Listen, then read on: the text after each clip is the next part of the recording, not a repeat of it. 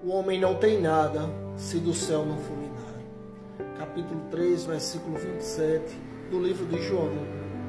João Batista diz que o homem não tem nada se do céu não for lhe dado. O homem para Deus é nada. Muitos querem ser alguma coisa, mas são só apenas areia, pó, como diz o salmista. E Deus lembra que somos pó. É pela misericórdia do Senhor que vivemos. É pela misericórdia do Senhor que temos as coisas. Porque se fosse depender de nós, nós teríamos nada, nem vida nós teríamos. Mas é Deus que dá a vida todos os dias. É Ele que nos faz levantar todas as manhãs. Por isso o salmista diz no capítulo 3, versículo 5: Deitei e dormi, porque Deus tem me sustentado. Assim é na nossa vida, Deus nos sustenta dia e noite.